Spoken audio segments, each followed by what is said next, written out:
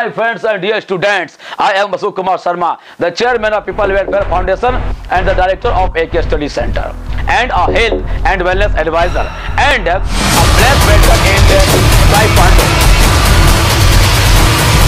Providing the best quality of the video.